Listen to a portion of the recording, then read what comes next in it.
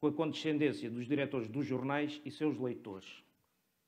Coisas que fazem de mim um leigo nas questões técnicas. Mas surpreendido também, porque não sendo reconhecido como um yes man, seria sempre um risco para quem me convida ter-me aqui a dizer algumas palavras sobre certas matérias. Sou desde os meus oito ou nove anos quando me habituei a ler em voz alta um familiar que cegara os jornais e revistas que chegavam lá à casa, um apaixonado pela leitura e pela informação. Mais pela veiculada pela imprensa escrita, que me permite sentir o cheiro do papel novo e das tintas, se presta a ser manuseada, relida e guardada, do que a que chega pela rádio e pela televisão ou, mais recentemente, pela internet. Essa apetência pela informação, pelo conhecimento da atualidade e do mundo que nos rodeia, cimentou-se ao longo dos anos e obrigou-me em diversos momentos, por razões profissionais que também são de cidadania, a refletir e a intervir publicamente sobre vários temas e assuntos que me preocupam. Entendi, por isso mesmo, dever agarrar a oportunidade aberta pelo convite, que me honra, que me foi dirigido para apresentar o livro do professor João Figueira, intitulado 15 anos depois, A Imprensa Portuguesa de Macau, 1999-2014. E aproveitar para partilhar convosco algumas das minhas reflexões. O que faço em atenção ao trabalho do autor, à consideração que tenho pelo editor, ao respeito que a imprensa portuguesa, pelo que a imprensa portuguesa tem feito por Macau e a sua gente, e ainda por razões que se prendem com o delicado momento histórico que a RAM atravessa.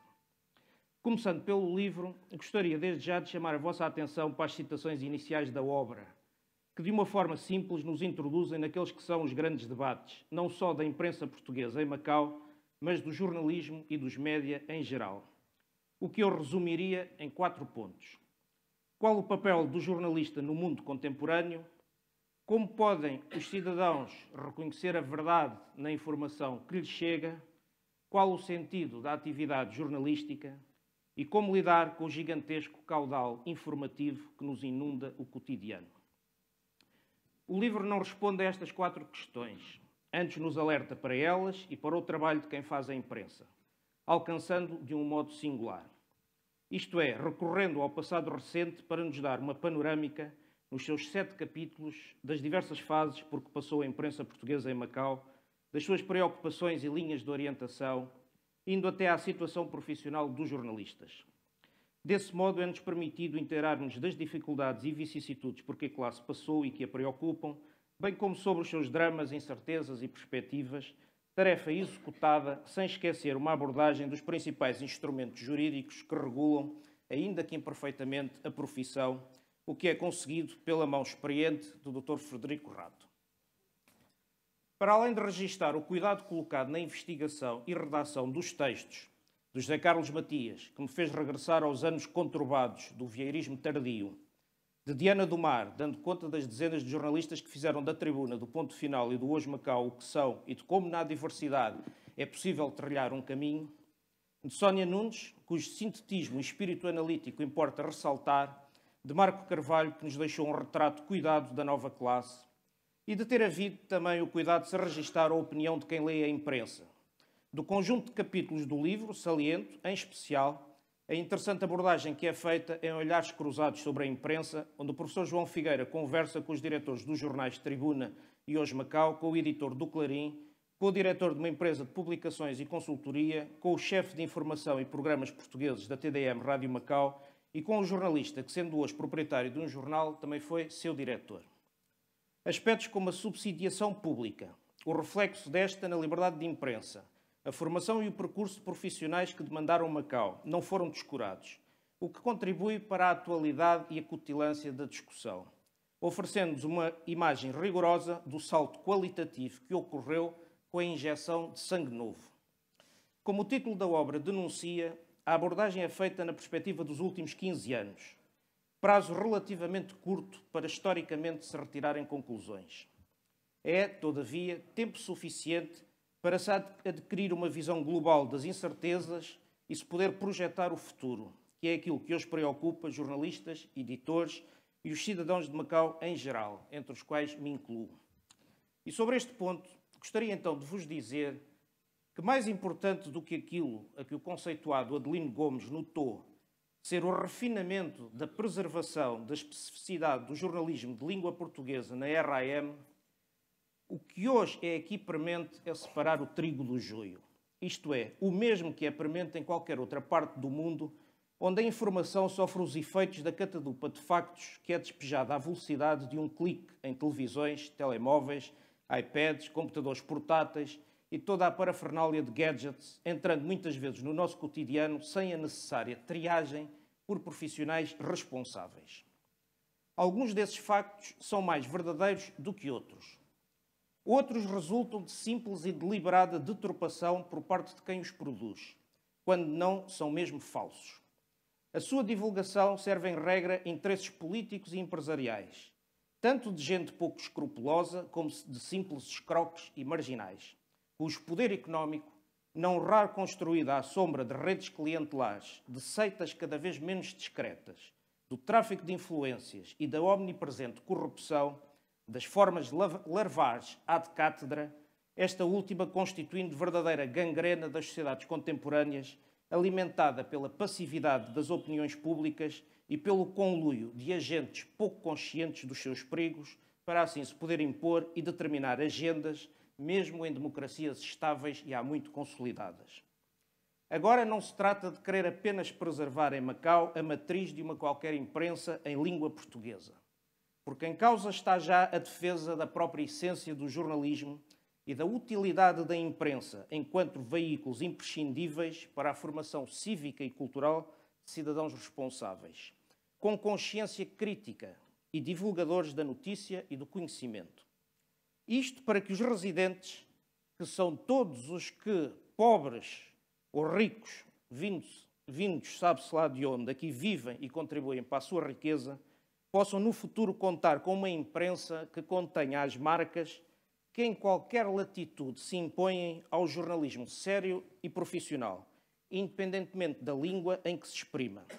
Se essa defesa puder ser guiada pela imprensa portuguesa, melhor. Necessidade tanto maior quanto é certo que aqui e ali se vislumbram sinais preocupantes de controle da realidade. Sinais próprios de Estados totalitários e de autocracias obscurantistas que, relevando do campo de uma atávica e persistente ignorância e recorrendo a uma gestão administrativa da política, colocam em causa valores essenciais do direito à informação, à liberdade de expressão e ao direito de opinião dos cidadãos e dos jornalistas de Macau. É verdade que os instrumentos jurídicos que regem a RAM consagram estes direitos. Mas será que o simples facto de estarem contidos em instrumentos legais e do Pacto Internacional sobre os Direitos Civis e Políticos ter sido objeto de recepção expressa no artigo 40 da Lei Básica, constitui, face aos inquietantes sinais que diariamente nos chegam, garantia da sua perenidade e assimilação pelas gerações vindouras? Eu penso que não. E digo-vos porquê. Todos vós tendes uma ideia mais ou menos elaborada sobre quais as linhas que devem ser usadas para tecer uma imprensa credível, respeitada, e que cumpra com utilidade a sua função social. De qualquer modo, e para que este não seja um exercício inútil e as coisas não fiquem vagamente a pairar, permitir-me referir o seguinte.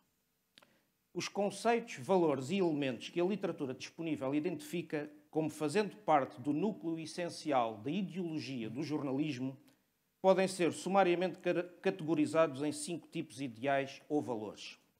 Serviço público, traduzido na recolha ativa e na disseminação de informação. Objetividade, porque os jornalistas são imparciais, neutrais, objetivos e equilibrados. Autonomia, visto que os jornalistas têm de ser autónomos, livres e independentes no seu trabalho. Imediatismo, porque os jornalistas têm o sentido da instantaneidade, da atualidade e da velocidade inerentes ao conceito de notícia e, finalmente, ética.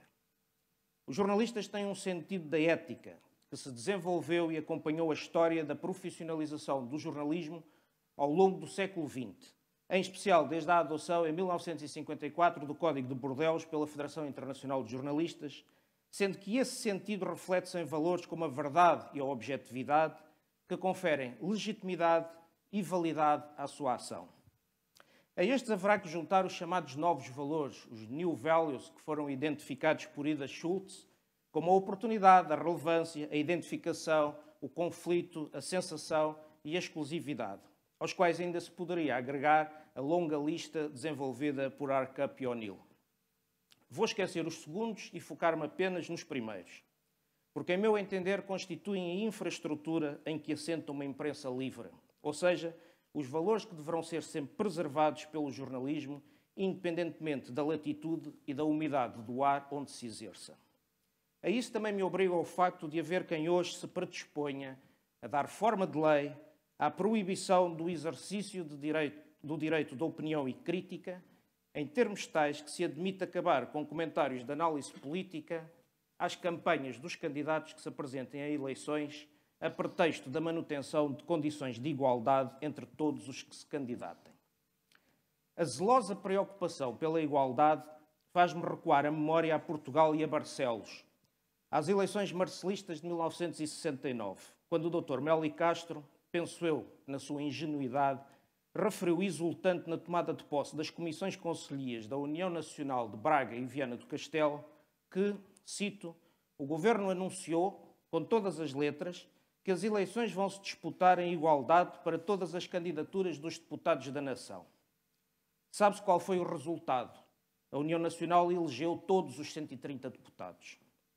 A ideia que anda pairando por aí, como se fora mais um ovni, suscetível de impedir um jornalista ou analista de escrever num jornal que o rei vai nu, por mais aberrantes, demagógicas e irresponsáveis que sejam as propostas eleitorais dos candidatos, é tão tenebrosa que a hipótese dos cidadãos de Macau virem a viver numa sociedade sujeita a tal espartilho assume foros de catástrofe. Recorde-se que ainda faltam mais de 30 anos para o final do período de garantia conferido aos cidadãos de Macau pela China e Portugal, se manterem inalterados durante 50 anos o sistema capitalista e a maneira de viver anteriormente existentes, na qual se inscreve a liberdade de opinião e crítica ao processo eleitoral, aos programas e às candidaturas. Estou por isso convicto de que os desafios que se colocam à imprensa de Macau residem na melhor forma de preservar a sua autonomia e independência até ao final do período de transição, contra as tentativas subliminares de cerceamento dos direitos dos residentes e no modo como os seus jornalistas profissionais continuarão a honrar os seus compromissos éticos, cumprindo a missão de serviço público com objetividade, atualidade e, sublinho, utilidade. Quanto à autonomia, seria importante que os poderes formais e informais de direito e de facto tivessem presente que uma imprensa livre, aberta e não capturada por interesses particulares, como escreveram vários autores, serve não só de ponte entre o governo e os seus cidadãos, como reduz a corrupção e contribui para o crescimento económico. Quanto ao segundo ponto, que também me é caro na minha profissão, em relação à preservação do sentido ético da profissão, considero fundamental que se avance rapidamente no sentido da autorregulação e da adoção de um código deontológico, ainda que imperfeito, que possa servir de escudo protetor dos jornalistas contra as investidas da subserviente e cada vez mais petulante casta dos burocratas. Os jornalistas podem não concordar sobre o que querem consagrar num código deontológico mas sabem bem o que não lhes convém. Os média, os jornalistas e o jornalismo, como qualquer outra profissão, vivem num ambiente de constante mudança económica, política, cultural e tecnológica. Como em qualquer profissão, a sua ação deverá ser objeto de escrutínio e os jornalistas deverão ser os primeiros a procurarem saber como é que os destinatários da sua atividade avaliam a sua performance. Uma profissão uma atividade define-se pelos atos materiais que a caracterizam, pela arte dos seus profissionais, mas é pelos valores que acolhe, pelo modo como os pratica cotidianamente e os coloca ao serviço da comunidade que serve, pela tenacidade com que os defende no exercício dessa profissão, que conquista a sua credibilidade e o respeito da comunidade. Enfatizo, deste modo, na linha da obra do professor João Figueira, a necessidade de Macau continuar a ter bons profissionais, os mais íntegros, de boa índole e melhor formação. O livro do professor João Figueira é sobre este ponto elucidativo demonstrando o papel da renovação da imprensa portuguesa e a necessidade de se continuar por aí. Vivemos numa sociedade onde o governo é forte na aparência, mas que se mostrou nestes 15 anos extremamente poroso e permeável a interesses particulares. Circunstâncias que o levam, por vezes, a mostrar-se fraco e submisso para com os fortes e autoritário para com os fracos. Há gente mínima por aí a toda a volta, que escreve ou não, mas lê. No caso do Herberto, lia poemas bárbaros. Para nós, lê a imprensa em português, em chinês e em inglês. Os valores que guiam uma profissão são a ideologia dos seus profissionais. É esta ideologia que lhe confere identidade e contribui para a valorização da sua imagem, tornando-a merecedora de crédito. A acomodação mercenária e laudatória da imprensa ao poder político e económico, como a miúde tenho visto por aí, não é um padrão de sociedades desenvolvidas, muito menos de uma imprensa livre, de editores responsáveis e de um jornalismo profissional. Termino recordando palavras do saudoso Manuel António Pina, que nos alertou para a corrosão dos alicerces do edifício da coragem cívica em que se forjou historicamente o jornalismo. Escreveu ele que hoje o jornalismo já não diz, diz que se diz. Eu espero que nos próximos 15 anos a imprensa de Macau continue a dizer e que o cinismo e o excesso de prudência que o Pina criticava com ou sem subsidiação pública, não a impeçam de dizer, porque só assim cumprirá a sua função. Era isto que eu tinha para vos transmitir. Poderia ter falado de outras coisas, provavelmente elas virão depois a lume durante o debate e resta-me agradecer a vossa atenção e depois esperar pelo, pelo debate, eh, porque estarei disponível naturalmente para esclarecer alguns dos pontos que aqui referi. Muito obrigado.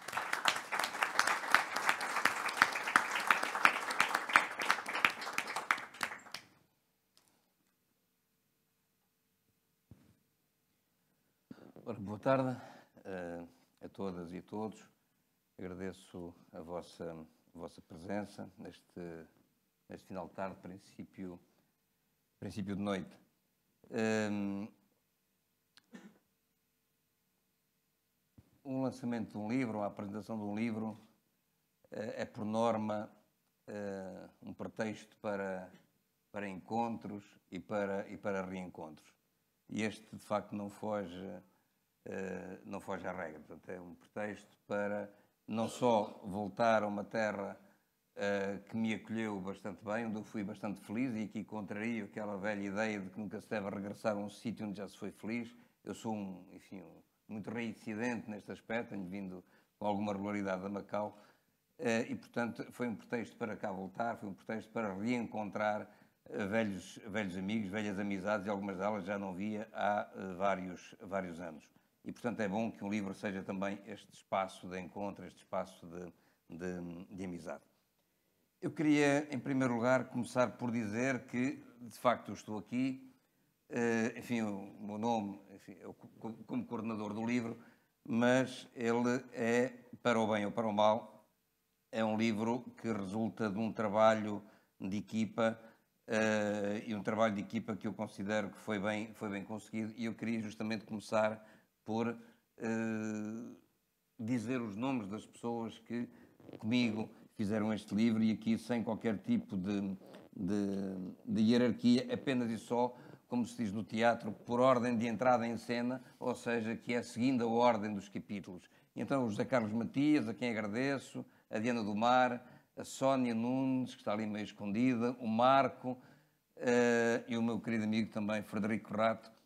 Uh, e, portanto, são estes os autores que comigo, portanto, quatro deles, jornalistas em, em Macau, há, enfim, há alguns anos, Uh, e Frederico Rato, que todos uh, sabejamente conhecido por um, ser um grande uh, enfim, especialista em matéria de, de, no direito e, sobretudo, nas questões ligadas às questões da, da, da liberdade de, de, expressão, de opinião e ser uma pessoa que há muito tempo uh, analisa e pesquisa e debate as questões ligadas à, à ética e à, e à deontologia enfim, na sua conjugação com uh, o, o, ordenamento jurídico de, de, Macau.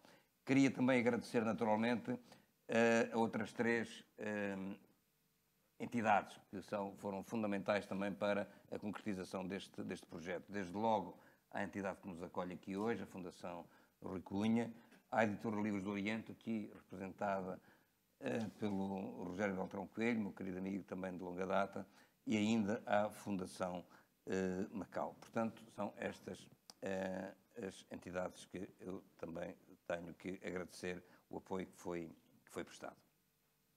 Agradeço naturalmente também ao Dr. Sérgio a disponibilidade desde o primeiro momento para vir, uh, enfim, fazer a apresentação e, sobretudo,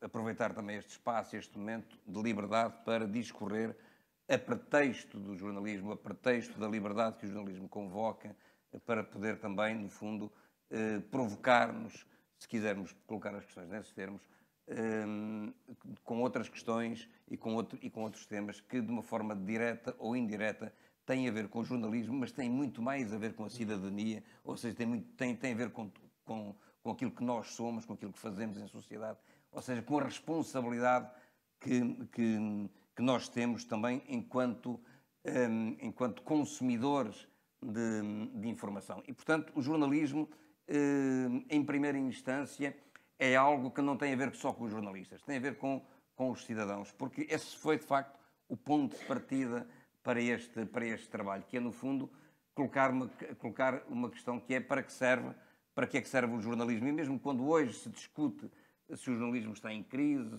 os problemas que o jornalismo tem, há quem diga que ele estará, enfim, quase a acabar, eh, há quem diga que ele que ele está numa, numa crise de identidade terrível. Hum, este é um problema que não diz, não diz respeito aos jornalistas, não diz respeito ao jornalismo, diz respeito a todos nós, diz respeito, se quisermos, à própria democracia. Porque a democracia tornou-se mais forte, as sociedades democráticas tornaram-se mais transparentes, tornaram-se mais exigentes, à medida que o jornalismo foi também ele próprio sendo mais exigente, eh, sendo ele também um construtor de pluralidades, de pluralismo de opiniões e, portanto, ajudando a construir também um espaço amplo de liberdade. Aliás, há muitas liberdades que são muito posteriores à liberdade de, de, informação e é justamente, foi justamente com a liberdade de informação que foram sendo conquistados outros direitos, como, por exemplo, o direito das mulheres ao voto em algumas sociedades em alguns, em alguns países. Portanto, a questão do jornalismo, de facto, é o pretexto para nós nos discutirmos a nós próprios e para, sobretudo, olharmos para as sociedades que habitamos, para as sociedades uh, que ajudamos a construir e nessa, e nessa perspectiva somos corresponsáveis dessas mesmas uh, sociedades. E que isto tem a ver com a imprensa de Macau, sobretudo entre 99 e 2014. Eu acho que tem um pouco a ver uh, com, com tudo isto. Desde logo porque, se falamos de jornalismo, estamos a falar da vida em sociedade, não é? Uh, havia, aliás, havia e há, que infelizmente ainda é vivo, um diretor do importante jornal italiano, do La Repubblica, e que um dia, numa entrevista uh, uh, feita pelo El País, lhe, lhe, lhe foi colocada esta pergunta: o que é para si o jornalismo? E ele dizia que é para mim, enfim, esta, esta resposta que ele deu é talvez a resposta, enfim, a definição mais notável que eu conheço de jornalismo, mas ao mesmo tempo também é mais simples. E talvez por ser a mais simples, eu entenda que é mais notável. E então dizia o diretor do La República: o jornalismo, ou os jornalistas, são pessoas que contam às outras pessoas histórias da vida das pessoas. Ou seja, o jornalismo não é nada mais do que isto. O jornalismo é precisamente uh, contar a todos nós aquilo que tem a ver com a nossa vida em sociedade aquilo que tem a ver com aquilo que nós somos, com aquilo que nós fazemos, com as nossas, os nossos anseios, as nossas aspirações, as nossas ambições, os nossos interesses também. Ou seja, nas sociedades eh, exigentes, competitivas, eh, com conflitos de interesses, naturalmente que o jornalismo não pode, não pode estar indiferente a isto. O jornalismo tem ele próprio de ser também um espaço de conflito de interesses, um espaço também onde estes, estes, estes defeitos todos e estas virtudes também existem. Ou seja, o jornalismo não existe num patamar eh, exterior à sociedade. O jornalismo não é qualquer coisa que, em que a sociedade está aqui e depois ali fora está o jornalismo. Não, o jornalismo está no meio da sociedade e é aí que ele deve estar e por isso mesmo ele, ele, ele, ele consegue e deve conseguir conjugar todas essas virtudes, todos esses defeitos, ou seja, deve proporcionar a discussão e o debate das, das, da, da, da, vida complexa ou das sociedades complexas que hoje, que hoje, que hoje existem neste, uh, e, e, e, nas quais nós um, habitamos e vivemos.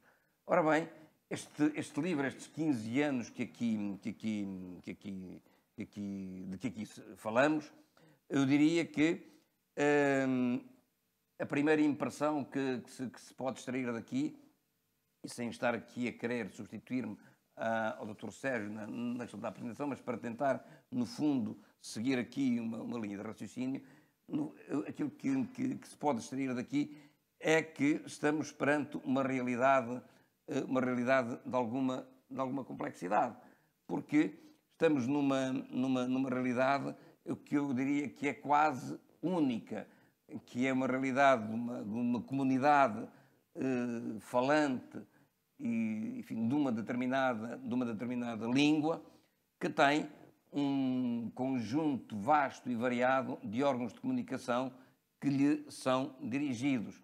Ou seja, estamos a falar de uma comunidade de, enfim, escassa de falantes de português e que tem a sorte, tem o privilégio de ter três jornais diários mais dois semanários, fora a rádio e televisão, que aqui não constam uh, no estudo ou na abordagem deste, deste livro.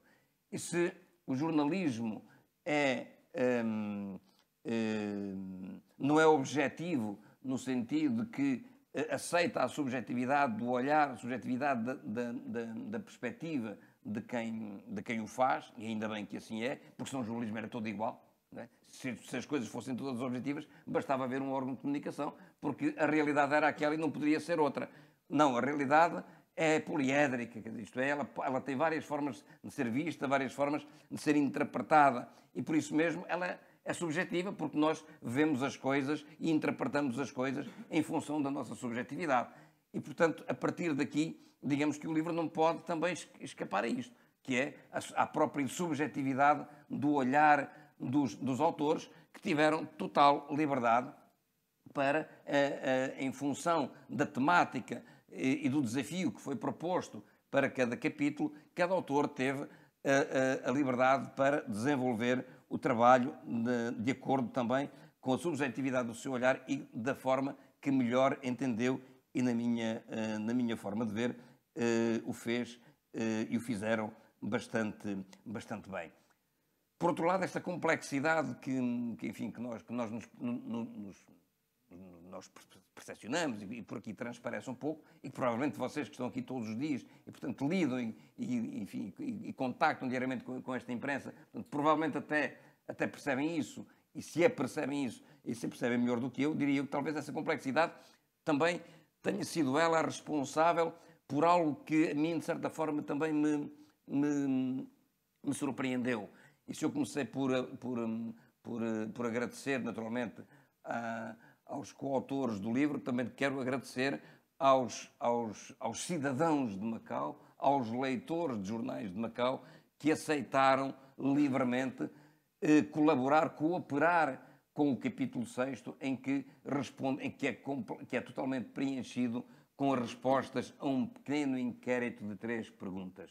E, de facto, se não houvesse essa cooperação, esse capítulo não teria sido possível. E é também de toda a justiça eu agradecer e enaltecer essa, esse, esse ato, não só de liberdade, mas também de grande cidadania.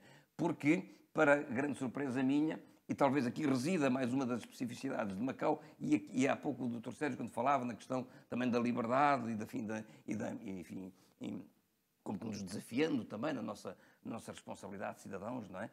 Uh, dizia eu que fiquei um pouco surpreendido quando uh, algumas pessoas que eu, a quem eu enderecei o convite para responderem a este pequeno inquérito, algumas delas uh, nem sequer me responderam, apesar de, de, de, eu reiteradamente pedir que dissessem, enfim, que me, que respondessem, e outras que responderiam, mas apenas e só sob anonimato. claro que isso estava fora de questão, estava fora de, estava fora de hipótese, e, portanto, isto aqui também, de certa forma, nos dá, se quisermos, hum, enfim, é uma outra forma, portanto, enfim, se eu estou aqui a partilhar convosco este, esta, esta, pequena experiência, ou esta pequena narrativa, é no fundo para talvez realçar algo que, que está presente aqui nestas minhas palavras, que tem a ver com esta, com esta singularidade, com esta especificidade toda, mas que não deixa de ser complexa uh, em, em, em, em, tudo isto.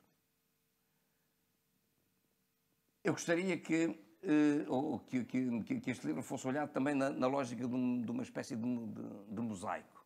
Ou seja, uh, naturalmente que cada capítulo encerra uma, uma, uma, história, portanto, ou seja, tem um tema que, que, que é lançado e que procura, no fundo, abordá-lo, tratá-lo, mas que, no, que, que, a história, na, na sua, uh, ao longo de, das páginas todas, ela seja, seja entendida como uma espécie de mosaico, ou seja, em que as diversas questões se vão como que uh, interpelando, interpelando ou completando umas, uh, umas às outras. E é por isso que o livro também, e que não é muito vulgar em obras desta natureza, inclui eh, uma mesa redonda, ou seja, uma entrevista coletiva, uma mesa redonda não é mais do que uma entrevista coletiva, eh, a diretores, a responsáveis editoriais, justamente para que eles também tenham a oportunidade, digamos, de dizer a sua verdade. A sua verdade. É evidente que quem é jornalista sabe que uma entrevista é, hum, é uma verdade que é construída segundo a perspectiva que o, que o entrevistado quer dar, não é? por muito que, eh, eh, por muito hum, que ele possa ser questionado, é evidente que ele tem sempre a capacidade de fazer valer a sua, a sua, a sua perspectiva. O facto aqui de haver várias, vários, vários intervenientes eh, permite que eh, algumas questões possam estar, eh, de facto, em. Eh, possam suscitar perspectivas diferentes, possam suscitar formas de ver e de entender as coisas de forma diferente, justamente para quê? Justamente para ressaltar, para fazer, para fazer vir à, à superfície, eh, uma vez mais, algumas, algumas contradições que existem, eh, algumas, algumas conquistas, alguns consensos, mas, uma vez mais, também as questões mais dilemáticas, mais complexas, mais problemáticas que, uma, uma, que o exercício de, desta profissão num território escasso, num território pequeno, em que todos nos conhecemos uns aos outros e onde existe à partida aqui uma dificuldade enorme, que é a de que nenhum dos autores tem uma, um distanciamento desejável real, uh, face à realidade sobre a qual está a escrever. Ou seja, é evidente que o jornalista uh, tem a prática de escrever enquanto a história está a acontecer portanto, o historiador do momento, como dizia o Camus, não é? Portanto, o jornalista está a escrever ao mesmo tempo que o acontecimento está, está, está a decorrer. Portanto, eh, ele tem que ter essa capacidade, porque a pressa eh, da, da, da atualidade, da notícia, da reportagem, isso exige. Um trabalho desta natureza natural, exige ou exigirá a prudência de um distanciamento, de um distanciamento maior. Ora bem, quando estamos a escrever sobre um momento que terminou ontem, naturalmente que esse não é o distanciamento ideal. E, esse, e nesse aspecto, digamos que estamos diante de uma dificuldade acrescida, ou se quisermos colocar as questões noutros termos, diante de um desafio maior que, uh, que, que, o tema nos, no, nos convoca e que o tema nos, uh, nos, nos suscita. Eu terminaria dizendo que uh, o livro não pretende, no fundo, ser uma espécie de de vademecum, ou seja, no sentido de que tem respostas, que são as respostas ali prontinhas, não é? Pronto, prontas a servir, sobretudo, eh, pretende, sobretudo, ser mais um ponto, se quisermos, de reflexão, fazer uma espécie de primeiro ponto da situação sobre isto, sem que esta abordagem possa impedir, possa inibir outras abordagens sobre o mesmo período, eh, com outros pontos de vista, portanto, ou seja, nesse aspecto é uma espécie quase de obra, de obra aberta e, sobretudo, eh, sem, porem, sem, eh, sem esquecermos que há, naturalmente, outros protagonistas eh, como seja o caso, de, de, por exemplo, da rádio e da televisão, que justificariam e que justificam também trabalhos desta, desta natureza e abordagens desta, de, desta dimensão, uma vez que são também meios que, muito presentes e que têm um papel fundamental no dia a dia da comunicação e, do, e, de, e da informação em, em, em, Macau. Finalmente, mesmo para, para terminar, eu gostaria de, de, salientar um aspecto ou dois. Uh, um que tem a ver com, para quem vem de fora, neste momento já, portanto, sou uma, sou uma espécie de estrangeiro, não é? estrangeirado, que é um, a questão do financiamento público da, da imprensa. Esta é uma questão que, um, em muitos sítios, e sobretudo em Portugal, há um grande preconceito em ser discutida e quando se fala, quando se diz que a imprensa em Macau tem o apoio oficial, a primeira, a primeira, o primeiro comentário uh, é logo dizer, pois estão, estão feitas do poder e tal. E eu, enfim, eu vou, vou fugir agora enfim, ao, a, à, à, simplicidade da, contra-argumentação, mas para dizer que uh, esta realidade, eu diria que é um, deveria ser um estudo de caso para muitos outros sítios, a começar por Portugal. Uh, numa altura em que o jornalismo está em crise, sobretudo a imprensa está em crise, esta é uma questão que deveria ser clara e frontalmente analisada, debatida, discutida sem qualquer tipo de, de preconceitos, sem qualquer tipo de questões. Eu, aliás, costumo a este respeito salientar que já há vários anos alguns autores norte-americanos que querem colocar isto na agenda pública e na agenda política, ou seja, a discussão do financiamento do, dos, de, da, da imprensa. E este é um aspecto fundamental e um aspecto que eu, um, que eu e que perpassa, e que perpassa aqui muito, muito por, este, por este livro e que é de facto um exemplo, um, exemplo notável. E o outro, e o outro, quando se diz que Macau tem muitos, muitos jornais um, e que também é referido este aspecto aqui no livro, um, justamente lembrando um outro caso há cinco jornais polacos em Liverpool. Uh, Liverpool tem, Liverpool tem nos, nos censos de 2011, tinha cerca de 22, 23 mil cidadãos polacos registados. E, portanto, Liverpool tem cinco jornais polacos. Uh, portanto, quando se diz que há muita imprensa portuguesa uh, em Macau, portanto, temos este exemplo também em Inglaterra. Ou seja, temos que sempre ser muito cautelosos nos juízos que fazemos, uh, nos juízos que fazemos e nas análises que são feitas para que uh, as coisas sejam um pouco mais, um pouco mais consistentes na sua, na sua abordagem. E, portanto, era de uma forma muito sintética, muito sumária, também sem, sem, sem, sem vos cansar muito, era isto que eu, que eu gostaria de dizer, sem, sem me querer substituir ao livro, sem me querer substituir à apresentação que, notável que aqui foi feita pelo doutor, do, doutor Sérgio.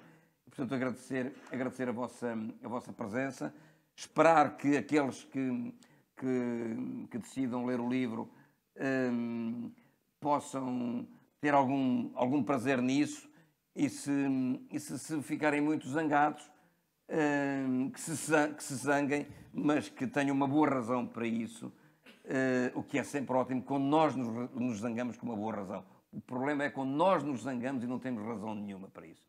Muito obrigado.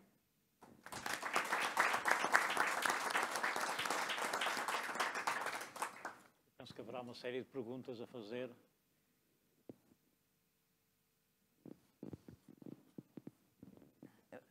O custa, mas é a primeira, portanto podemos passar à segunda.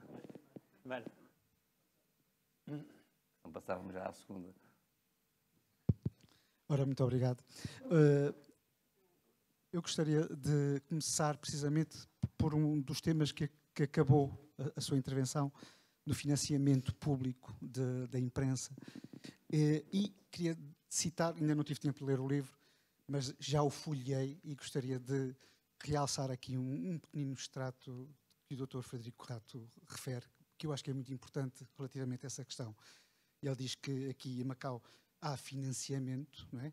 aos órgãos de comunicação social, nomeadamente a imprensa escrita, mas que não há aqui uma intenção de controle do governo, antes pelo contrário, é de manutenção de uma imprensa escrita em língua portuguesa, que eu acho que é um, aspecto que, que, que, realçou, eu acho que é muito importante. Não é? Eu acho que os jornalistas prestam um serviço público fundamental para o cidadão, como, como referiu, e por isso eu acho que é importante que haja financiamento público dos jornais, obviamente de alguns critérios, de alguns critérios razoáveis, naturalmente. Portanto, era esse aspecto que também uh, realçou e que o doutor também Sérgio referiu na parte final desta questão da subsidiarização é, que era importante. Agora, um outro aspecto que, que está a acontecer também no mundo, na Europa, em Portugal, é uma outra questão que é para garantir a independência do jornalismo, que tem a ver com uma questão dos detentores dos meios de comunicação social. Portanto, é um aspecto que eu acho que é muito interessante.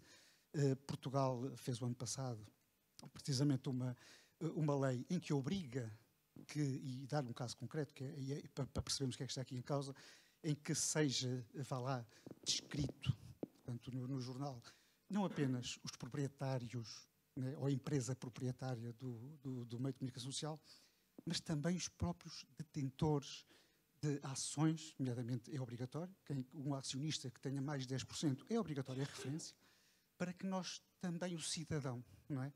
E os jornalistas sabem para quem trabalham. Eu acho que é importante, não é?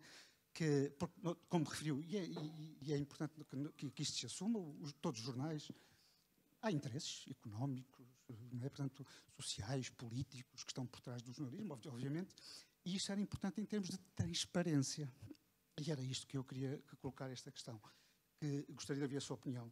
Se em Portugal eh, essa evolução eh, está a ser concretizada, é? Se o, leitor já pode identificar uh, quem são os, acionistas que estão por trás daquele jornal e para poder também escolher perante a tal pluralidade né, de, de, órgãos de comunicação social que possa escolher, portanto, e, e, e, estar bem informado de quem está por detrás desses interesses e saber reconhecer e saber selecionar. Portanto, era essa esta questão que eu queria colocar. Muito obrigado.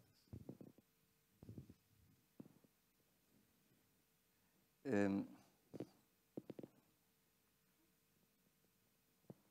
A questão do financiamento do, enfim, hum, eu não ficaria só pelo, pelo financiamento dos jornais, enfim, que, que é o que está mais, mais em causa, porque estamos, estamos a falar de imprensa, mas aquilo que hoje nós devemos, devemos discutir é já uh, o modelo de negócio dos média, é? porque essa é que é a grande, é a grande questão, porque um, os jornais mais cedo ou mais tarde, eles vão, vão, vão, vão, vão acabar aos poucos, não é?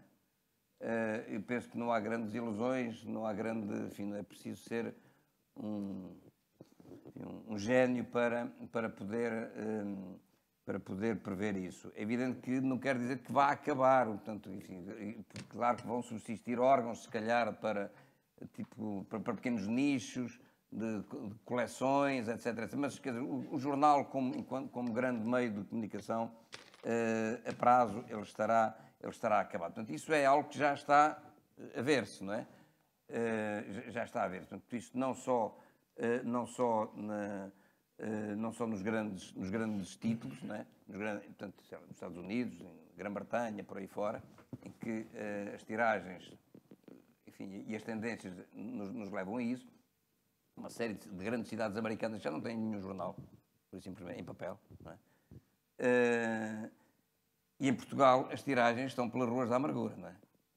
Quer dizer, quando nós vemos jornais que nos habituámos, enfim, a ter uma grande consideração por, por eles, não é? portanto eu não queria ser deselegante e estar agora aqui a, a nomeá-los, é? mas todos nós sabemos, como diria o outro, do que é que estamos a falar. Uh, e grandes órgãos que há meia dúzia de anos vendiam e tinham uma circulação de 80, 70, 100 mil exemplares e que hoje têm circulações residuais, 13 mil, 14 mil, enfim. Uh, portanto, significa que a prazo uh, esses órgãos estão, estão condenados. O problema, o problema é que, mesmo nas edições eletrónicas, o negócio está péssimo e, por isso, a questão do financiamento uh, remete hoje muito mais para isto, para a questão do modelo de negócio. E este é um problema complexo é um problema muito difícil. Um problema muito, muito difícil de, de, de, de solução. E é um problema tanto mais difícil porque nós também não ajudamos nada enquanto cidadãos. Não, nós não ajudamos nada, porque nós, eh, durante muitos anos, eh, habituámos-nos a chegar à banca e comprávamos os jornais. E pagávamos por isso. E hoje achamos que podemos ter isso de borla na net. E não queremos pagar nada. E então, e então nós temos que nos defrontar perante este dilema, que é o seguinte, que é, uh, isto é, um, eu costumo dar este exemplo, era ótimo vivermos numa sociedade em que eu pudesse fazer download da eletricidade, não pagar eletricidade em casa.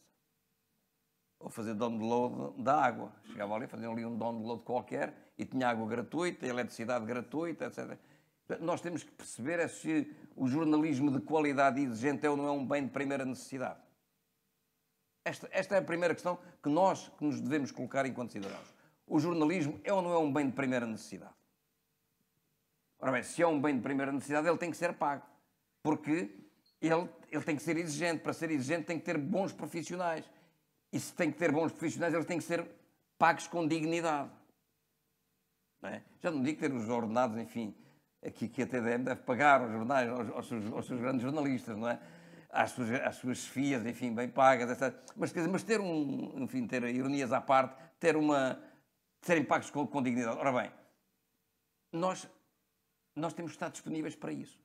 E se nós, e se nós nos demitimos desse, desse papel, nós estamos a permitir que sejam outros a viabilizar os órgãos, de, uh, os média. Então, se são outros a viabilizar os, os e quando eu digo outros, digo uh, publicidade, digo anunciantes, digo interesses económicos, enfim, tudo o que, o que quisermos, se são eles que viabilizam, nós não temos nada que exigir. Nós não temos nada que exigir. Isto é, nós podemos exigir se formos uma parte ativa do processo. Quando nós nos demitimos de ser uma parte ativa do processo, acabou. Nós não podemos exigir. Portanto, este é desde logo um problema que nós nos devemos colocar a nós próprios, que é qual é, o que é que eu devo fazer, qual é a minha co-responsabilidade relativamente. E tudo isto vai, no fundo, depois desaguar na segunda questão, na questão da, uh, da, questão da, da, liberdade, na questão da transparência, na questão de, no fundo, eu perceber e saber que este, este órgão de comunicação tem estas posições assim assim, não é? Porque e os seus, eu sei que os seus acionistas têm interesses nesta área ou naquela ou naquela. É evidente que isso ainda não é, não, é, não tem essa transparência. Nós, nós não sabemos, ou só os cidadãos mais, hum, se calhar, mais curiosos, mais, mais esclarecidos, poderão, poderão saber isso. A, a, esmagadora maioria das pessoas não, nem sequer, se calhar, pensa nisso, não é? Uh, pensa nisso. Mas é evidente que eu, estou com, que eu, que eu, que eu também partilho dessa, dessa ideia. O jornalismo deve. Se o jornalismo, quando eh, quando se julga no direito de questionar qualquer outro tipo de, de instância, seja instância política, eh, judicial, económica, seja qual, se ele se arvora no direito de, de, de, de pôr em causa, de questionar qualquer outra instância, e mais, e de exigir que essas instâncias sejam transparentes no exercício do poder, etc., etc., o jornalismo tem de começar por ser ele próprio uma entidade transparente. Isto é, ele não pode exigir aos outros aquilo que ele não é capaz de fazer, que ele não é capaz de, de, eh, de mostrar. Portanto, eh, agora, isto é um processo, enfim, que como que há aqui uma, quase que dizia aqui uma espécie de relação dialética, é? quer dizer, é, nós também temos de ter, também temos de ter aqui uma, uma parte ativa em, em, tudo isso, não é? E quanto mais exigentes, quanto mais ativos forem os, os, os, seus, forem os leitores de um órgão de comunicação, independentemente da plataforma em que ele seja lido, melhor ele será. Isso não, acho eu. Posso? Já agora, relativamente às, às duas, aos dois aspectos que foram ali levantados pelo Nuno e aquilo que o, que o professor João Figueira acabou de, acabou de dizer, em relação ao financiamento público, o Nuno referiu ali o aspecto de, desse financiamento em Macau ter eventualmente a ver com a necessidade de manutenção de uma imprensa, ou de um determinado tipo de imprensa, ou de uma imprensa em língua portuguesa. Uh, a questão do financiamento é uma questão muito importante, já foi, já foi referida, está aqui também no, no livro, e eu a mim não me faz qualquer confusão, uh, porque há aqui um aspecto em relação ao jornalismo e aos jornais e à imprensa, que se calhar, e estou a falar sendo um leigo, está aqui um professor que é um, que é um especialista da matéria, é porque se calhar a imprensa e os jornais ainda não, não são vistos atualmente como hoje em dia nas sociedades desenvolvidas se olha para os partidos políticos. Uh, o financiamento dos partidos políticos começa uh, dentro de uma ótica daquilo a que uma politóloga holandesa, Van Biesen, chamou de utilidade pública. Ou seja, os partidos são hoje vistos em determinadas sociedades como, uh, como entidades ou como organizações ou associações de interesse público e com utilidade pública. E, portanto, se têm utilidade pública, é porque cumprem uma determinada função. E se não têm os meios necessários para poder cumprir, é necessário que o Estado providencie. Uh, portanto, a questão do financiamento, para mim, em relação aos jornais, é uma questão muito clara. Eu entendo e vejo os jornais, a imprensa em geral, como sendo uma utilidade pública. E sendo uma utilidade pública, eu penso que devia de ser comparticipado. O professor João Figueiredo perguntava, uh, dizia há pouco, portanto, que uh, se os jornais vão acabar, se não vão acabar, uh, nós não pagamos nada. Quer dizer, bom, os cidadãos pagam os seus impostos. E se a imprensa for vista como uma utilidade pública, estaremos todos a contribuir para a sua para a sua manutenção, para a sua sobrevivência e, e a garantir, ao fim e ao cabo, que ela cumpra, cumpra a sua função. Por outro lado, em relação à questão da, da transparência, eh, esse também parece que é um ponto essencial. Eh, mas isso depende, depende muito, depende não só das leis, eh, como depende dos próprios, dos próprios profissionais. E, portanto, deverão ser os próprios profissionais quem faz a imprensa dizer oh, esta é a minha agenda de interesses, estas são as ligações que eu tenho ou não tenho, porque é fundamental que a questão, a questão da transparência também está muito associada meu ponto de vista, o aspecto da credibilidade. Porque, à partida, quer dizer, os, eh, os leitores não, não têm qualquer parte em relação, em relação aos, eh, aos jornais ou às notícias que lhes chegam. Mas é evidente que em determinadas alturas, em determinadas situações, eles são confrontados com uma notícia que não é verdadeira, uh, ou com uma notícia que está a ser veiculada, se calhar transmitida de uma forma que não é a mais correta ou a mais adequada, uh, e começam a ficar, diria, de pé atrás. Uh, e, portanto, e aí começa a haver também alguma, alguma desconfiança mútua entre quem faz a notícia quem produz os jornais e, quem, e os, seus, os seus destinatários. Uh, e, portanto, a questão da, da, transparência é importante do ponto de vista económico, saber quem é que tem as ações, quem é que, quem é, que é o proprietário do jornal, também está muito ligada, do meu ponto de vista, com uma outra questão que tem a ver com a dignidade do exercício da profissão. E em relação a isso, independentemente de, do poder de qualquer grupo económico, do valor das ações, isso só depende dos próprios profissionais e da maneira como encaram o exercício da profissão. Mas isso é assim no jornalismo, como penso que seja também em qualquer outra profissão, na, será na engenharia, na arquitetura, no direito com um advogado, não é? Quer dizer, não pedem um parecer, quer dizer, legislatura, quer dizer, o, o parecer é acomodado à vontade do cliente, quer dizer, o, o advogado diz, não, o, o parecer que eu dou é este, pedir uma opinião, eu dou a minha opinião, a minha opinião não é condicionada, portanto pago o meu trabalho e acabou, depois façam o que entenderem com o parecer, não é? Portanto, era, era isto só que eu queria também acrescentar. Só queria, só queria trazer aqui à, à colação uma experiência que é a seguinte: uh, o apoio à imprensa tem uma grande defesa, é que não é um só jornal. Existem, na parte portuguesa, existem cinco jornais. Portanto, se o, se o, se o poder não, se, não ficar eh, satisfeito com a atuação do jornal, não tem nenhuma capacidade para lhe cortar, para lhe cortar o financiamento a não ser que haja um processo judicial que leve a essa situação. Portanto, o facto de ser mais do que um jornal protege esta protege e torna e dá de facto independência independência aos jornais. Isto vem a propósito porque em 1982 tinha eu acabado de, de criar o Gabinete de Comunicação Social E uma das primeiras medidas que se tomaram foi acabar com o subsídio que se dava a um jornal que na altura não cumpria nenhumas regras de ontologia, que era a Gazeta Macaense, e ao acabar com esse subsídio, sugeri que lhe fosse dada publicidade institucional para haver uma troca de serviços e não ver aquilo que era entendido como uma tentativa do poder comprar o jornal. Nessa altura, sendo um único só, a leitura que se fazia é como o jornal diariamente uh, fazia, não críticas, mas ataques da forma mais suez possível uh, uh, elementos da administração e não só. Portanto, qualquer apoio que se desse era entendido como uma tentativa de comprar, comprar o jornal. Hoje, o facto de serem vários jornais e ser, não só para a imprensa portuguesa, como para a imprensa chinesa, cria um muro de estabilidade e de defesa que é difícil acabar com esse, é difícil acabar com esse, com esse apoio e é difícil ir contra, ir contra essa independência que a imprensa exerce.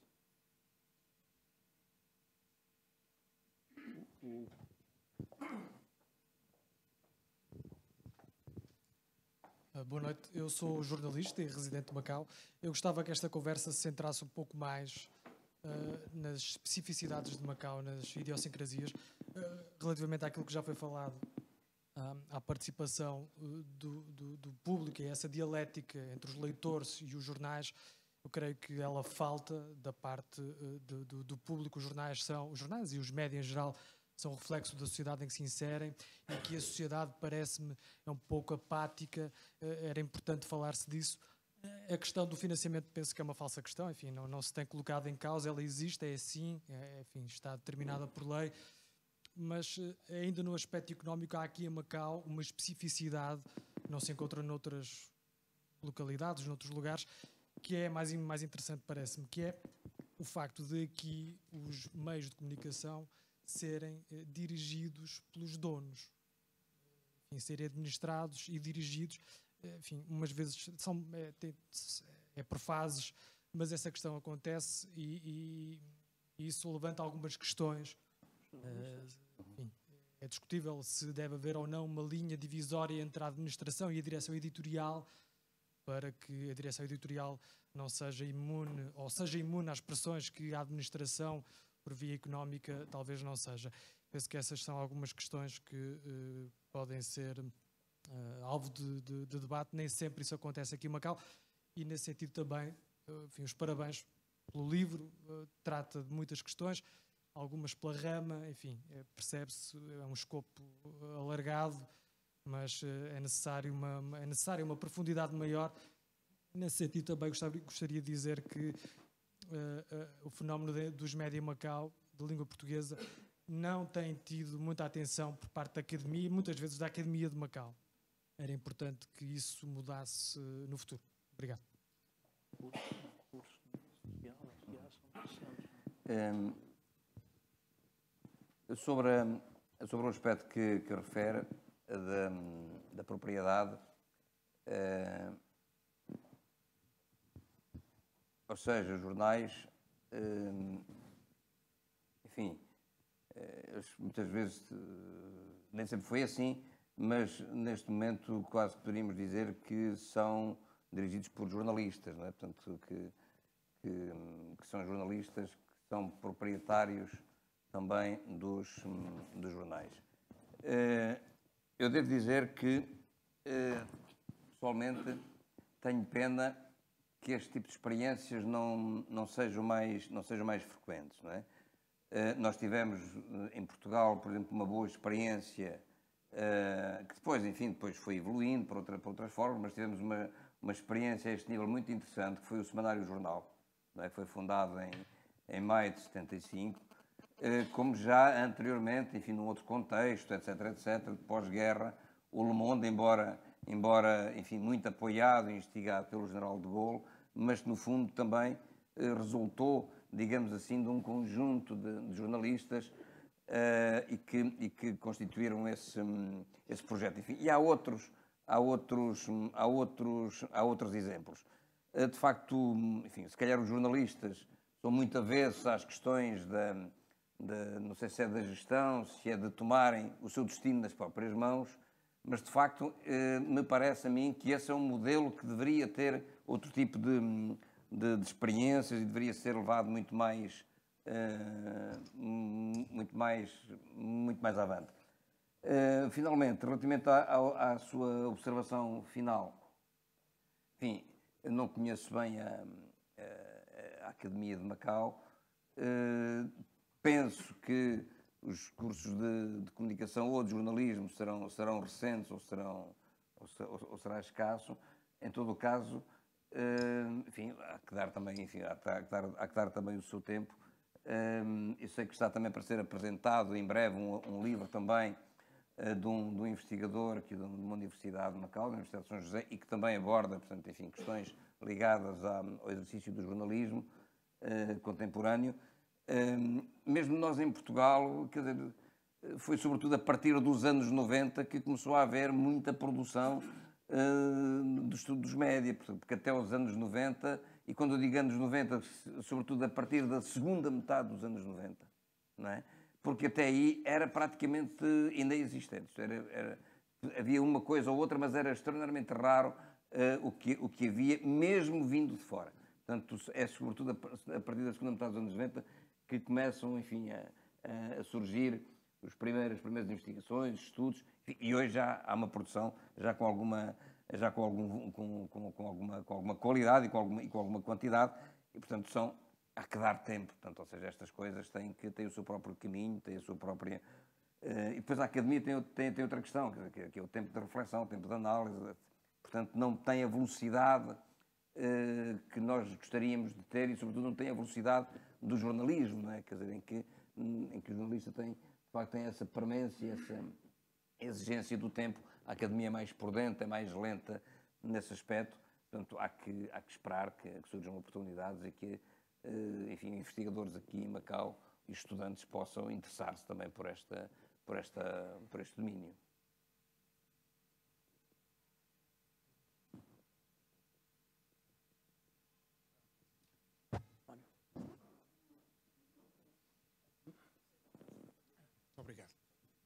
Muito obrigado.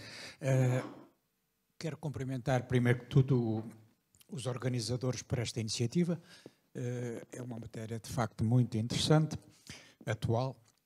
Uh, e a situação em relação à imprensa portuguesa de Macau, eu pessoalmente penso que ela não pode deixar de ser vista sempre em, com os seus antecedentes, isto é, o período que, eh, a partir que se viveu em, em, Macau, a partir de 25 de Abril, a partir da extinção da Comissão de Censura, que existia, eh, e, portanto, eh, são para mim dois períodos claramente distintos, de 25 de Abril de 74 até 99 e depois 99 para a frente. São situações realmente diferentes. Mas eu não queria entrar neste aspecto porque dá para, para muita coisa, teria muitas questões a pôr em relação a isto, mas só queria dizer agora é o seguinte. Eu penso que em relação ao, ao jornalismo e à prática de jornalismo em jornais, uh, primeiro que tudo, é para mim fundamental que seja muito claro e exista e publicado o estatuto editorial, porque isso condiciona completamente uh, o jornal perante si próprio e perante os seus leitores, por um lado. Por outro lado, é fundamental, penso que não existe, tanto quanto sei, é fundamental um código deontológico. É fundamental um estatuto de jornalista. Isto são tudo coisas que existem em Portugal, que são, ah, e há ainda depois na prática uma coisa fundamental também, às vezes não há é, quórum suficiente, que são os conselhos de redação, que é exatamente para ser, digamos, o, o contrapoder dentro das redações, para que, quando ou os diretores ou os proprietários eh, tentem, digamos, abusar, haver um, um contrapoder, não é? Um contravapor. Por outro lado, eu estou perfeitamente de acordo de que, primeiro, a propriedade do jornal tem que ser claríssima como água. Isto é, quem é e se por acaso é uma empresa, quem são os proprietários e quem tem as posições qualificadas nessa empresa. Sem isto não há, não há, eh, não há transparência. Uh, a partir daí, também eu digo o seguinte: não é o caso em Macau, mas eu estava a lembrar uma vez mais em relação ao período lá para trás, democrático, mas lá para trás. Uh, de facto, em Macau não há partidos, mas eh, sempre houve, depois de 25 de Abril, associações, uh, associações de defesa de interesses políticos que se expressavam, nomeadamente, nos jornais. Eh, vou, vou, citar, por exemplo, para, ser, para não ir muito longe, a Tribuna de Macau representava, de facto, a influência da, do Centro Democrático de Macau ligado ao Partido Socialista. Uh, o Jornal de Macau uh, estava ligado, dependia uh, da ADIM, que defendia, de facto, os interesses opostos ao Partido Socialista no contexto político de Macau. Uh, claro que isso era personalizado, tinha pessoas à frente, tinha figuras, uh, eventualmente tinha proprietários, não sei se o Dr. Carlos da Assunção era o, o, proprietário único do Jornal de Macau, ou se era. bom, tu saberás melhor, Rogério, porque eu confesso que já não estou muito preocupado com esses aspectos. Também não sei se o Dr. Eh, Neto Valente era o dono único do jornal da Tribuna de Macau, etc, etc, etc. Uh, portanto, uh, isto para dizer, porque é que eu quero dizer com isto? Há jornais e há jornais, há jornalistas e há jornalistas. Quero dizer que um jornal, por exemplo, todos perceberão, um jornal chamado Avante não é exatamente a mesma coisa que o jornal Diário de Notícias. Os jornalistas que trabalham no Avante não fazem exatamente o trabalho jornalístico que faz um jornalista do Diário Notícias. Porquê? Porque, de facto, quem trabalha, jornalista que trabalha no Avante, tem efetivamente que seguir a linha editorial do jornal, a linha do partido e, portanto, o mais que ele pode fazer de bom, e é isso está obrigado, isso sim, é seguir as boas práticas do, da profissão. Agora, ideologicamente, de facto, quem aceita aquele estatuto editorial sabe as suas limitações. Portanto, ninguém uh, é independente neste, neste tipo de situações. Há os jornais generalistas, que esses sim têm até muito mais obrigações que os jornais, digamos, eh, partidários, vou chamar-lhes, não é? Porque esses têm, para além de o dever de informar, têm que informar com toda a independência que o outro jornal partidário não tem, naturalmente.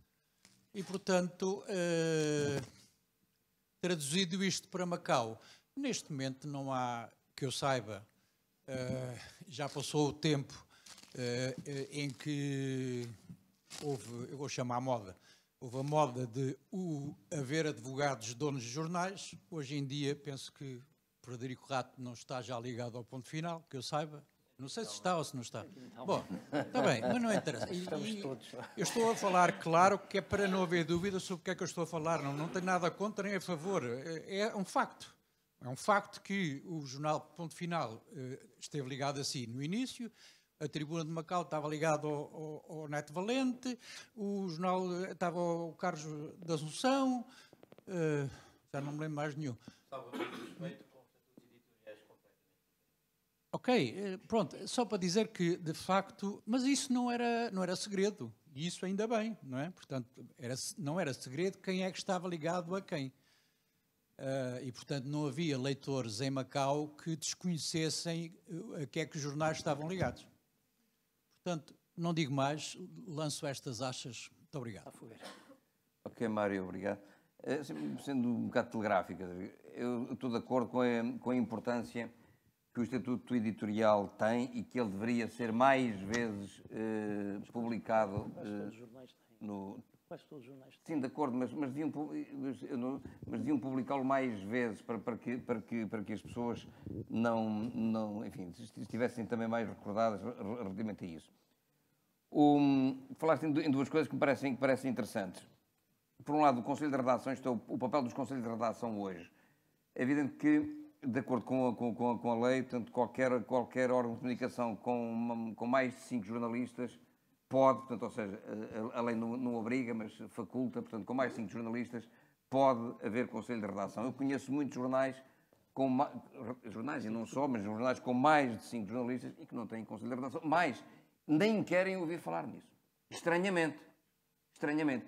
Ou seja, uh, há aqui qualquer coisa de, de misterioso um, ao nível da própria consciência profissional.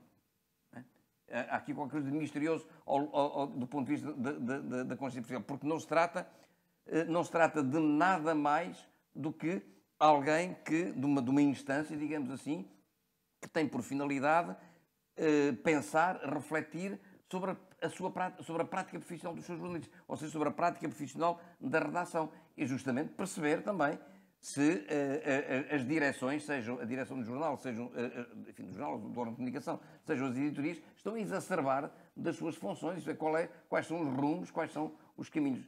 E o Conselho de Redação é algo que é muito importante. Mas se nós formos aos principais órgãos de comunicação, eu tenho feito este exercício, não é? E perguntar há quanto tempo é que um Conselho de Redação não reúne, mesmo aqueles que têm boa memória não se lembram. O que é grave o que é grave do ponto de vista de, da consciência profissional. Portanto, esse, esse, esse, aspecto que aqui trouxeste e que é bom que nós nunca nos esqueçamos dele. A questão do exemplo que estavas a dar do Avante, não é preciso irmos tão longe, podemos falar da Rádio Renascença. E eu pergunto se será possível fazermos uma peça, enfim, eu diria equilibrada, sobre casamentos entre, entre, entre pessoas do mesmo sexo se é possível fazermos uma reportagem sobre a interrupção voluntária da gravidez ou em que termos é que isso é possível fazer. Portanto, é evidente que o que tem que estar claro é o estatuto editorial. Isto é, eu aceito que, uh, que uh, um órgão de comunicação tenha uma, uma, determinada linha de pensamento. Essa linha de pensamento tem que estar clara, tem que, estar, tem que ser uh, explicitada e tem que ser óbvia aos olhos e aos ouvidos do, dos cidadãos não podemos eh, exigir eh, a um órgão de comunicação aquilo que não está na sua gênese, que não está na sua origem, mais que não está na sua razão de ser e de, e, de existir. Portanto, é esse aspecto que é fundamental. E, naturalmente, quando falamos de jornalismo, estamos a falar, enfim, o jornalismo, enfim, grosso modo, e só estamos a falar da realidade, ou tendo presente a realidade portuguesa, porque se formos para outras realidades, as coisas podem ser ainda mais complicadas, não é?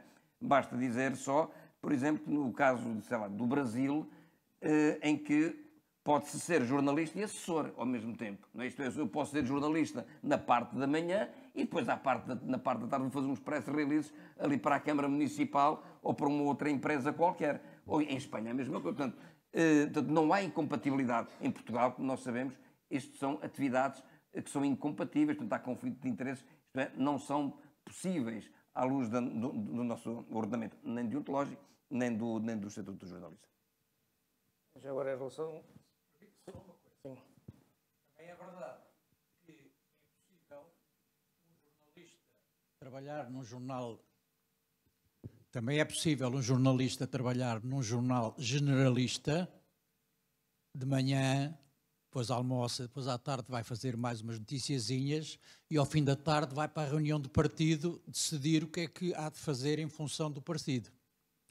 Portanto, eh, eu, pessoalmente, que sempre defendi, desde, que, desde 25 de Abril, eh, que a filiação partidária com o jornalista é incompatível e, portanto, sempre mantive independência partidária, embora não exija aos outros, mas é uma posição pessoal, continuo a manter e continuo a ver todas as razões para que, enquanto para praticar a profissão, existir esta situação, pela razão que já apontei. Muito obrigado.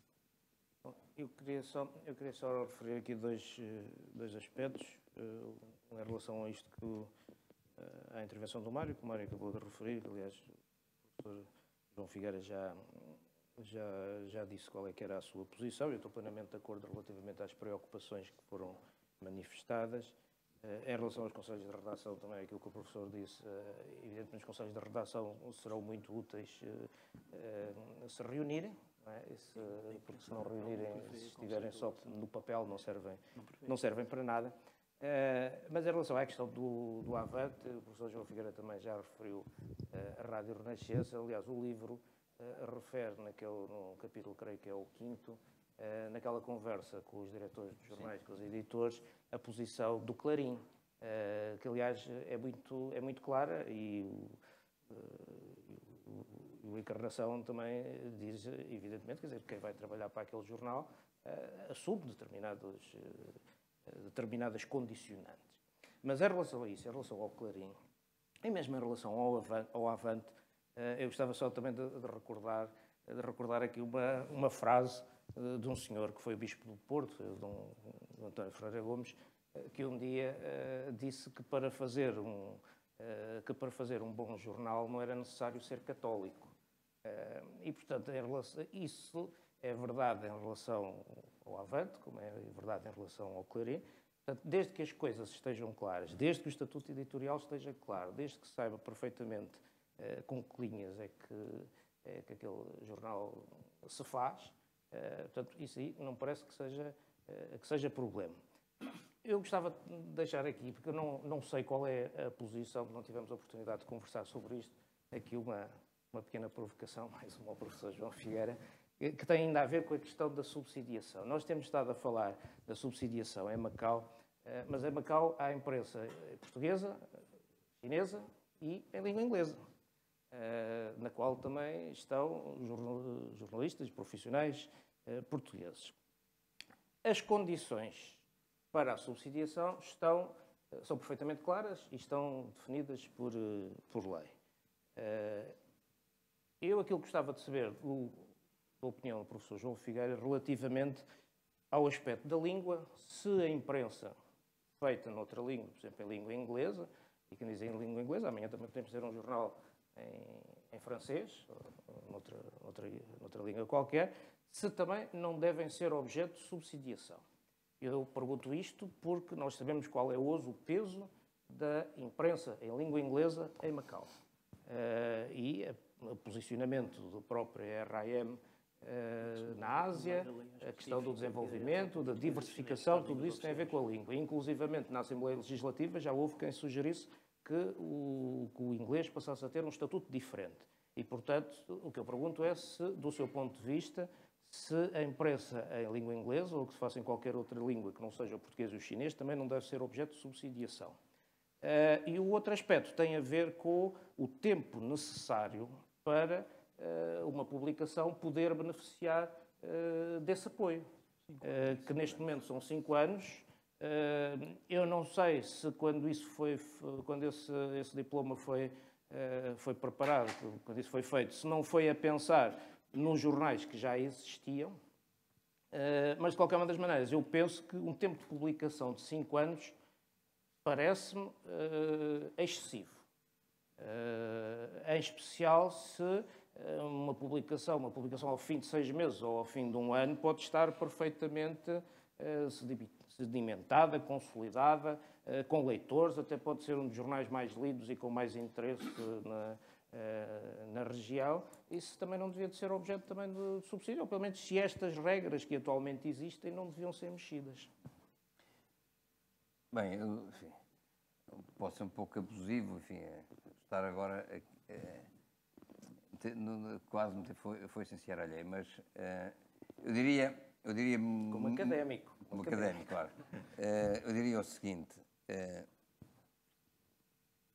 atendendo à, à, à, realidade que estamos, de que estamos a falar, que estamos a falar de Macau, não estamos a falar de, enfim, à realidade de Macau, sinceramente, portanto, um território, enfim, próspero, rico, enfim, não, não vejo o problema em que se apoiasse qualquer tipo de, de, de, de jornal. Sinceramente, enfim, em tese, eh, eu sei que a, a legislação em vigor prevê apoios para as, para as duas línguas oficiais, portanto, o português e o chinês, e faz sentido que assim seja. Isto é, que se, que se privilegie, não é? Portanto, que se privilegie as, as, duas línguas oficiais. Agora, na mim não me, em tese, não me, não, não me chocaria que amanhã houvesse uma, uma, uma maior abertura. Que isto é, havendo possibilidade, havendo disponibilidade para isso, enfim, não. O despacho, o despacho é anterior ao, ao aparecimento dos jornais em língua inglesa. É, Ok, pronto, e, mas, mas que não, em, em tese não me. Não me, não me, não me eh, desde que isso não pusesse em causa eh, portanto, eh, as publicações que já existem pa- pa- em, em português e em chinês e, portanto, e, foi, e foi essa a razão de ser da- da- da- dos apoios, não tinha, não tinha, não tinha qualquer tipo de, de, de- de objeção. Eh, tendo em conta a realidade em que estamos, como é evidente. E é, e é sobre isso que, que falo, e portanto, sendo isto, no fundo, um território de facto extremamente rico, enfim, no, no número de, de comunidades que aqui, que existem e que aqui coexistem. Depois, relativamente à questão da- do, do, do período, cinco anos é muito, se é pouco, eu não faço ideia, não- não sei se é muito, se é provavelmente no legislador pensou que cinco anos era o período, é o período que um órgão de comunicação leva a estabilizar, isto é, isto é no sentido de que também exige que quem queira, se queira lançar neste, nesta empreitada, neste empreendimento, também meça bem os riscos, isto é, também, no fundo, eh, tenha uma capacidade de, enfim, de, de ir conquistando leitores, de se afirmar no mercado eh, e depois, eh, digamos que, passado esse período de prova, então, ok, já é merecedor do, do tal apoio. Agora, se para isso eh, cinco anos é, é- é melhor que três anos, que dois anos e meio, eu acho que é sempre, é muito, é, é sempre muito, muito, muito aleatório. Quer dizer, eh, não sei quais foram, quais foram os pressupostos que, que, que levaram esse, esse período de cinco anos. Parece-me à partida, de facto, demasiado, porque se estamos a apoiar, sobretudo no caso português, eh, enfim, em que tem, eh, que tem naturais dificuldades à partida por, variedíssimas razões, e se a ideia é apoiar, então se é apoiar, vamos, eh, vamos melhorar as- a forma do apoio e já, não, e já não a manutenção, porque uma coisa é apoiar o aparecimento, eh, outra coisa é apoiar a manutenção. Portanto, há aqui, se calhar, uma explicitação ou um aclaramento, se calhar, deste conceito, quer dizer, que é o apoio, o apoio à iniciativa, o apoio ao aparecimento e depois o apoio à, à- à sua manutenção. Por outro lado, também porque é que não se podem estudar outros tipos de apoios? Porque é que não se pode estudar, por exemplo, um apoio para a modernização tecnológica? Isto é, existe. Ok, isto- ainda, bem. Porque eh, ainda bem, portanto, significa que não estou a dizer nada que seja, que seja despropositado. Porque eh, o- aquilo que me parece a mim, eu que, portanto, que estou longe de Macau, a, a- a imensa diáspora de macaenses, eh, provavelmente já exigiriam eh, uma, uma- um- um- que os jornais tivessem plataformas multimédia muito mais, muito mais desenvolvidas, isto é, que os jornais olhassem para as suas edições eletrónicas eh, de uma forma muito mais, de uma forma muito diferente daquela que, que, que usam hoje. Eu não sei se existem apoios para esse tipo de, de, de apostas, mas provavelmente faria sentido uma, uma coisa desse género, não é? E aí os jornais tornar-se-iam, se calhar, muito mais, hum, eh, muito mais atrativos também, chegariam muito mais longe, poderiam também ir buscar outro tipo de, de, de- financiamento, não é? Porque a publicidade ganharia um- aí um alcance e uma, e uma pujança tam- também maiores, e esse é um dos aspectos que, se nós quisermos pensar um pouco no day after, acho que é um dos aspectos em que os jornais, eh, enfim, sem, sem estar aqui a pôr em causa naturalmente o esforço que é feito em cada um dos jornais, de cada um dos diretores e dos jornalistas, mas eh, é um dos aspectos que deveria, deveria começar a ser pensado com, com muita, com, com, com, com um pouco de ambição e, e com, e, e com mais atenção, que é de facto as eleições eletrónicas. Convinha que não houvesse muito mais intervenções, porque já a hora é atrasada. Eu acho que que havia aqui uma questão. Eu peço desculpa que na altura saí só por, uns segundos. Tem a ver com o Estatuto de Jornalista, o Código Deontológico e essas questões. Eu não sei se o meu amigo Frederico Rato escreve sobre esse aspecto no livro. Eu já li uma parte significativa do livro, mas não li o livro todo. Mas só para esclarecer, há uma dificuldade enorme em Macau de entendimento entre a imprensa portuguesa e a imprensa chinesa. O, ah, como sabe, a lei da imprensa que ainda está em vigor, houve uma tentativa de revisão, mas que ainda não foi concretizada. É uma excelente lei, mas deixou por regulamentar essas questões. E essas questões não foram regulamentadas durante a administração portuguesa. Na altura tentou-se, não se conseguiu porque não havia o apoio da, da imprensa chinesa. E essa situação mantém-se. Por acaso estão aqui eh, dirigentes da associação, estão aqui dois vice-presidentes e, e outros membros da associação, mas os colegas que estão aqui conhecem essa realidade e neste momento a fase em que nos encontramos é a seguinte, portanto, o GCS tentou fazer a revisão dessa lei, já disse que não quer passar carteiras, já disse que, que vai deixar aqui o... deixou de passar carteiras, ou um cartão, que nunca houve carteira, Uh, já disse que vai deixar ir da lei, mas ela acabou por não, não avançar na Assembleia Legislativa. E o que nós, ao nível da Associação de Imprensa de Língua Portuguesa e Inglesa, estamos a fazer, está quase em fase final. O Frederico Rata ajudou muito nisso. E camaradas, já tivemos aqui numa reunião, é criar um estatuto e um código deontológico que, à partida, terá o apoio, neste momento, de todos os diretores e todos os responsáveis pelos, órgãos de comunicação social língua portuguesa e inglesa para ser adotado, mas não será vinculativo e não, e não impede que amanhã um jornal da nossa língua ou em língua inglesa possa ser criado e dizer "Nó, eu não tenho nada a ver com isso.